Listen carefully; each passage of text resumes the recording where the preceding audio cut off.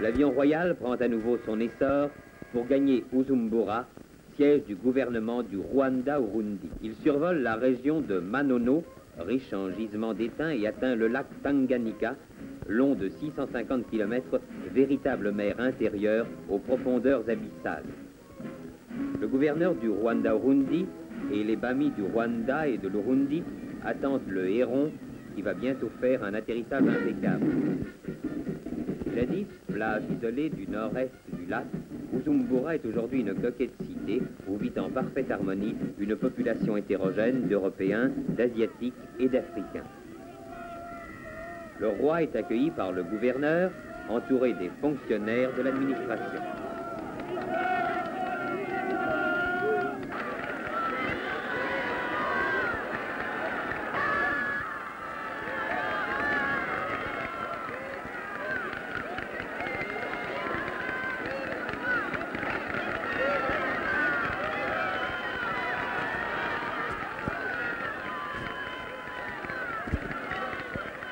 Les notables Barundi expriment leur loyalisme avec la dignité traditionnelle des habitants de ce pays.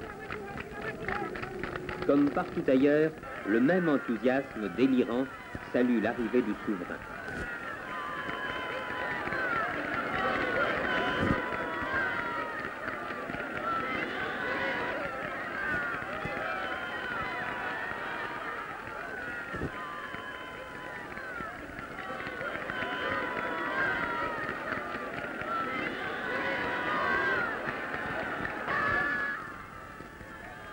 Dans le stade, une élégante foule de notables indigènes attend le roi qui va assister à une grande fête folklorique.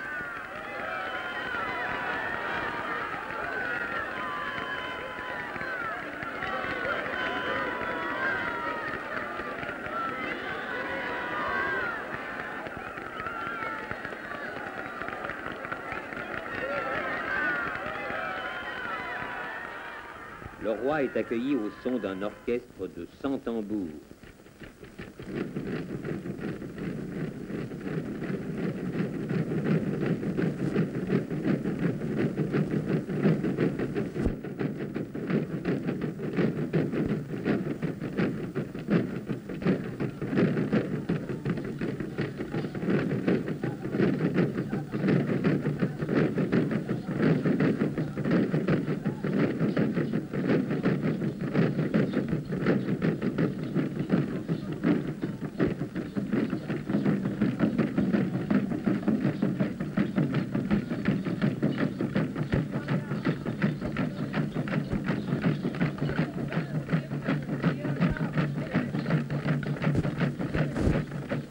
Coiffé d'une couronne en fibre de bananier, paré de peaux de léopard, de baudrier, de perles, le cou orné de coquillages, les guerriers Barundi célèbrent aujourd'hui la venue d'un grand chef.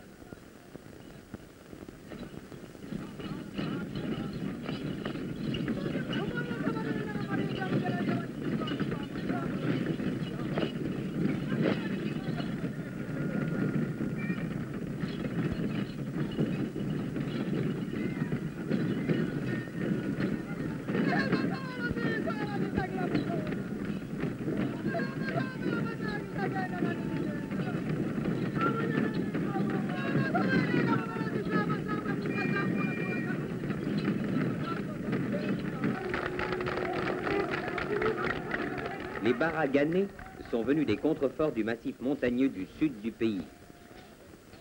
C'est la danse qu'exécutent les jeunes hommes aux environs immédiats de l'habitation de la jeune fille qu'ils désirent épouser.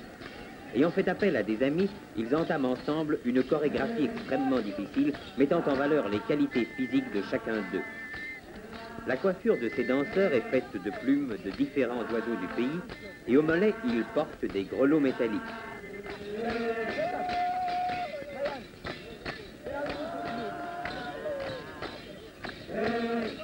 En vers Murambia, résidence du Mwami de l'Urundi.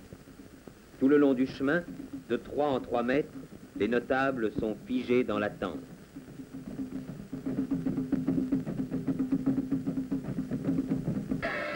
Mwambutsa, le Mwami de l'Urundi, attend le roi. Celui-ci va prendre place sous l'Ingoro, sorte de dôme en roseau qui était construit spécialement pour la circonstance.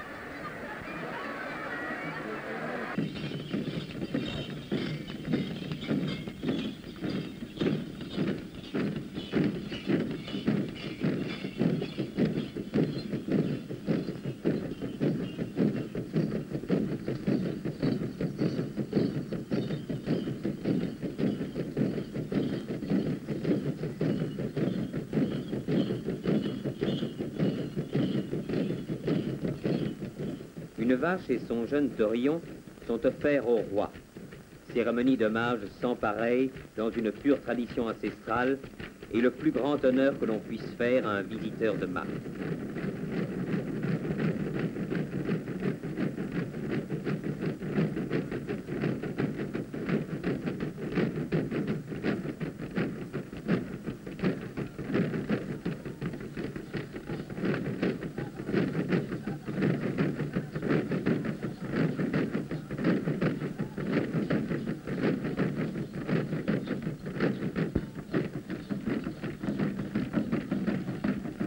Frontière des territoires du Rwanda et de l'Urundi, le roi traverse à pied le pont qui enjambe la rivière à Kanyaru. Il est accueilli par le Mwami du Rwanda et par le résident de ce territoire. Après avoir passé par Astrida, le souverain se trouve à Nyanza, où le Mwami a préparé en son honneur une fête exceptionnelle.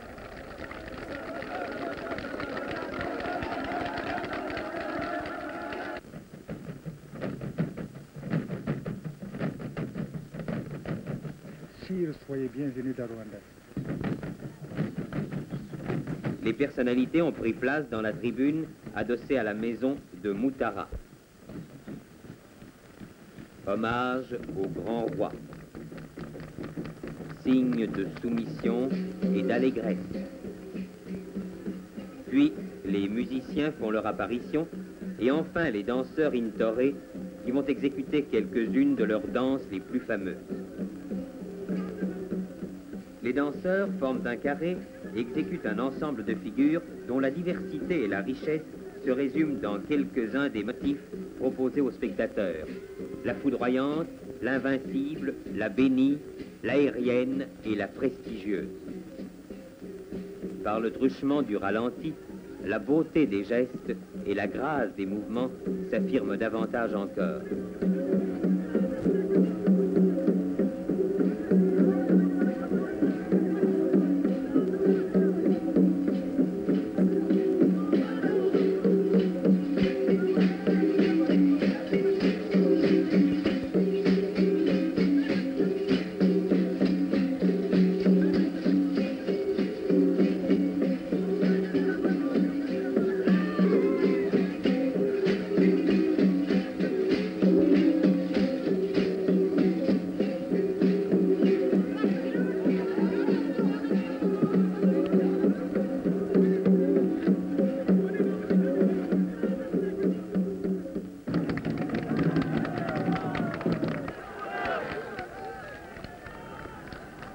Cérémonie s'achève par une démonstration de saut en hauteur exécutée par de splendides athlètes.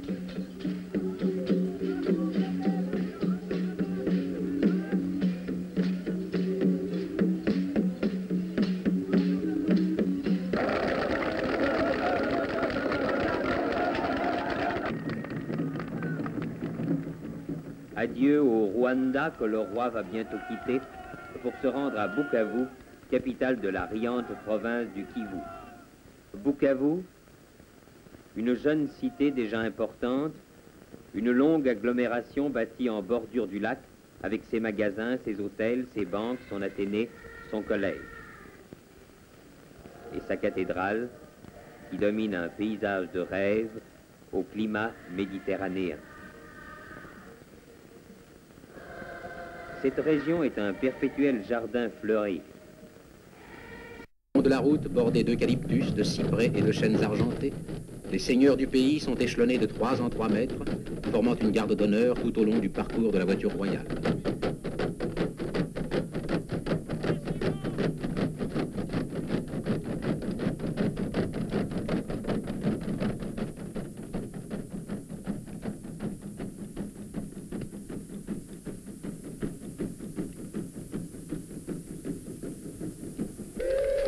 Symbolique entre deux territoires, un pont sépare l'Urundi du Rwanda.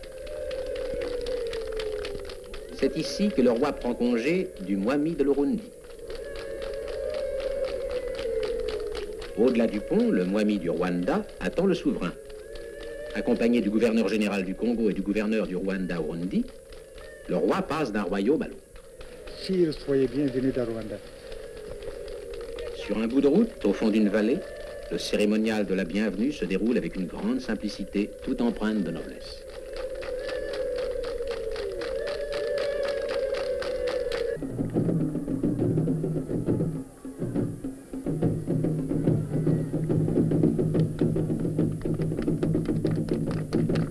Nyanza, capitale indigène du Rwanda et résidence du Mwami, lequel a préparé en l'honneur du roi des Belges une fête sans précédent.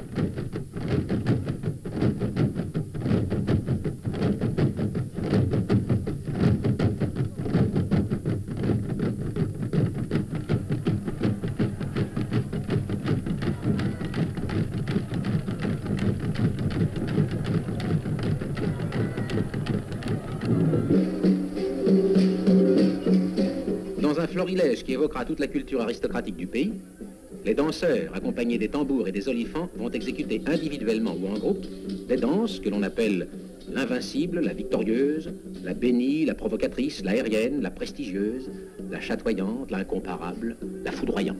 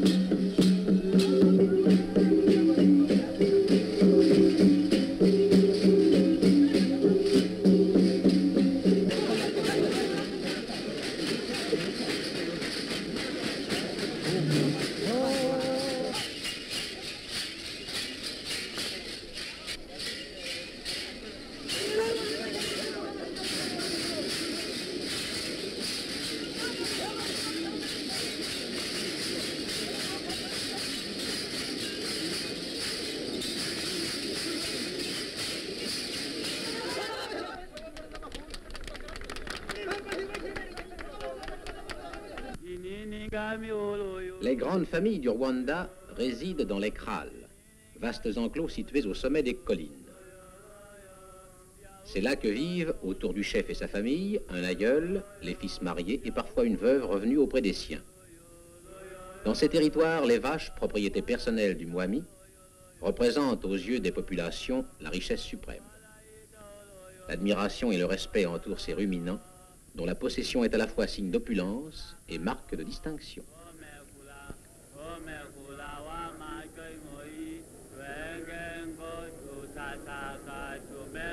Chaque fois qu'il veut honorer un visiteur, le Mwami du Rwanda lui offre une vache. Mais son témoignage le plus haut de vénération consiste en une vache laitière accompagnée de son veau. Les dignitaires de la cour marquent leur émotion devant ce geste royal.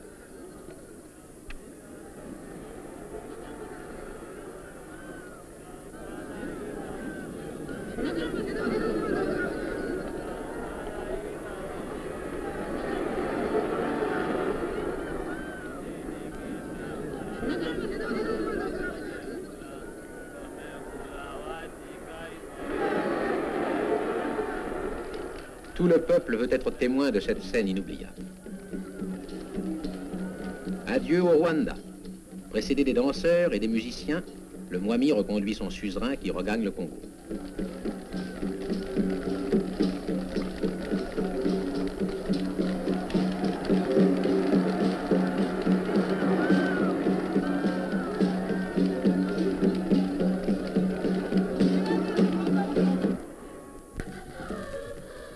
Équatoriale doit sa luxuriance à l'eau.